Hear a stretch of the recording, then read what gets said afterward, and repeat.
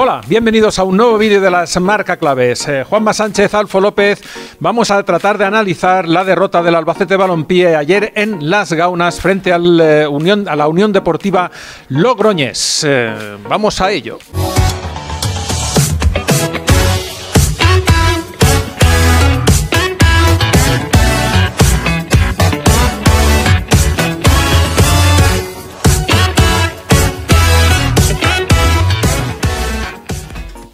Vamos con la primera marca clave. Juanma Sánchez, ¿cuál es? Pues la primera viene a raíz del primer gol del Logroñés. Recordamos que ganan 2-0. Es la tercera derrota consecutiva del Albacete Balompié. La primera marca clave, ahora ya sí que te contesto, son los penaltis. El Albacete volvió a cometer un penalti. Van 3 en los últimos 3 partidos y en total van 6 en las 14 jornadas que llevamos de segunda división. Es un dato algo preocupante porque lo que está reflejando es que la defensa del Albacete Balompié, aunque ayer el penalti lo comete un, un delantero, un extremo como es Liberto Beltrán, pero lo que refleja es que el Albacete Balompié en defensa está mal colocado o no está lo suficientemente concentrado porque quiere decir que está llegando tarde a las acciones y las está cortando en falta.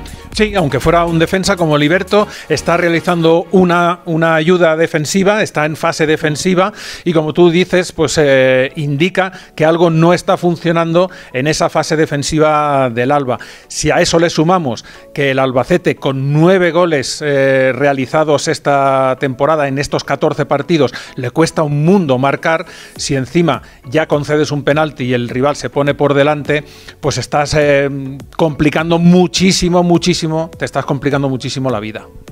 Vamos con la segunda marca clave. Vamos con la segunda marca clave. No me acuerdo cuál era, pero la voy a improvisar aquí. El desorden. El desorden. Bueno, que sí que me acordaba, tío. Venga, no, seguimos, seguimos. No es toma falsa. El desorden. ¿A qué le llamamos nosotros desorden? Mm, queremos eh, significar que el Albacete está viendo cómo se le encuentra muy fácil la espalda tanto a sus mediocentros como a sus laterales. Eh, el rival siempre puede tener una opción más de pase cuando está construyendo en ataque que, que, el propio Albacete. Eso no lo encuentra el Albacete y sí que lo encuentra el rival cuando está, cuando está atacando.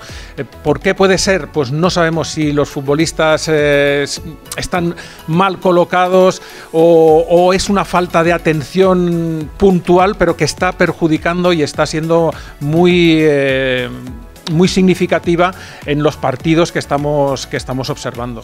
El caso es que ayer el Logroñés, cada vez que salía de la cueva, por decirlo de alguna manera, porque el Logroñés esperó atrás al Albacete, cada vez que salía por la banda encontraba espacios, que era normalmente donde iniciaban las jugadas, y luego cuando, cuando ya atravesaban el centro del campo había mucho espacio a la espalda de, los centrocampistas del Albacete. Esa es la, lo que vimos nosotros ayer. Y sigo yo con la siguiente marca clave, que sería el fútbol en estático del Albacete, porque como acabo de comenzar eh, diciendo, el Logroñés se echó atrás, cedió la iniciativa al Albacete Balompié, por tanto eran los de López Garay los que tenían que proponer, los que tenían que atacar, los que tenían que insistir, pero su juego fue muy, muy estático, fue muy lento, no supieron imprimirle velocidad al juego y por tanto el, el, Logroñés pues estuvo cómodo prácticamente durante todo el partido a pesar de que la pelota la tenía el Albacete. Cuando no te mueves en ataque, cuando no ofreces eh, una oportunidad una, eh, un pase a, tu, a tu compañero, estás facilitando un montón la tarea defensiva. Y vimos a un Albacete que parecía un tablero de ajedrez. Las piezas estáticas se movía uno, pero no se movían los compañeros, no ofrecían líneas de pase, no había ningún ningún, eh, ningún desmarque de ruptura. Fue un, vamos, una sensación del querer y no poder, pero que tampoco veías que los futbolistas fueran a moverse. Era un poco desesperante. Sí. Y vamos con la cuarta marca clave. Vamos con la cuarta marca clave que las tenemos apuntadas. Me voy a levantar, que lo sepáis. La cuarta marca clave, bueno, la cuarta marca clave, sin profundidad. Sin profundidad. Sin profundidad. Vimos, eh, y va ligado a lo que estábamos sí. diciendo, vamos, vimos a un Albacete sin profundidad ni por bandas ni en el eje del ataque, con eh, un juego muy plano y muy previsible. Además, eh, para a, atacar defensas como la de ayer del Logroñés, hay que jugar muy rápido, cambiar el balón de banda a banda con un solo toque. El, Albacete es incapaz de dar ni un eh, pase al primer toque, incluso entre centrales prácticamente, lo cual ya te está eh, facilitando mucho las cosas en defensa al rival. En cuanto se intentaba aumentar el ritmo del partido, se perdían balones, se llenaba el juego de, imprecisiones, es lo que decimos. El Albacete solo era capaz de construir en estático y en estático es imposible construir algo.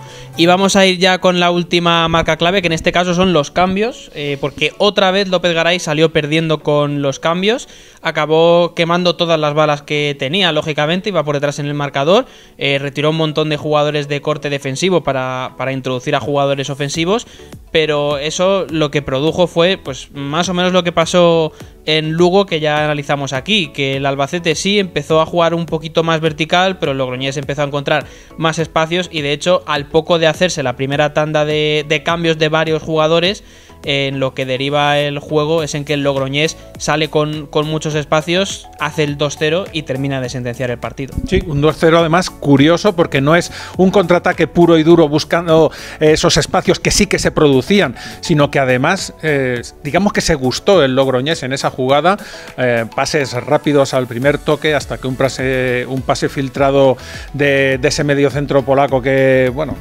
medio centro. de ese todocampista polaco. Pero que aparecía por todas partes. Sí, sí, eh, pues destrozó la defensa del Alba y acabó en el gol del, eh, del Logroñés. La verdad que mm, los cambios sí que son un debe porque mm, cuando uno hace los cambios que hizo Aritz López Garay lo que está buscando es una reacción y lejos de encontrar esa reacción se está encontrando con que el contrario aprovecha los cambios realizados y el desorden o digamos los, los, los espacios que se, que se generan para, para acabar de matar el partido.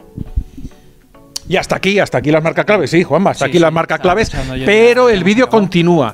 Vamos a ver, el vídeo continúa porque os vamos a mostrar eh, en un vídeo quién es el ganador de esa camiseta extraordinaria y súper guapa del Albacete Fútbol Sala que estamos eh, sorteando desde hace un par de semanitas, una semana, ¿no? Una semana. Una semana. Era la semana del derby de de Fútbol Sala de Albacete, Albacete contra Audaz, que empataron a uno, y tenemos la camiseta del Albacete Fútbol Sala, que nos la trajo Jesús Corredor, el, presidente. Y ahora vais a ver en el próximo vídeo que hemos eh, incrustado quién es el ganador, ya le damos la enhorabuena desde aquí.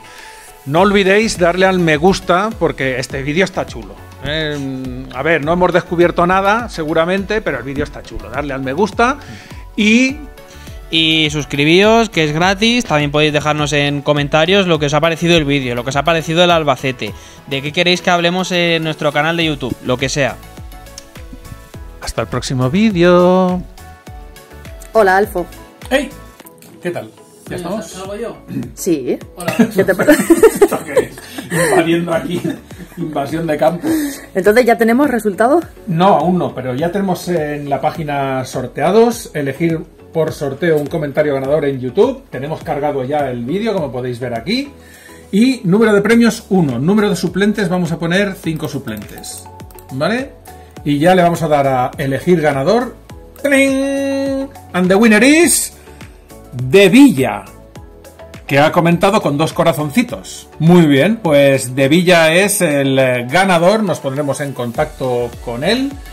Y enhorabuena, ya tienes tu camiseta del Albacete Fútbol Sala, que además está aquí. Toma. Esta camiseta es el regalo que va a tener de Villa por haber participado en nuestro enésimo sorteo en YouTube. Y vamos a seguir sorteando cosas.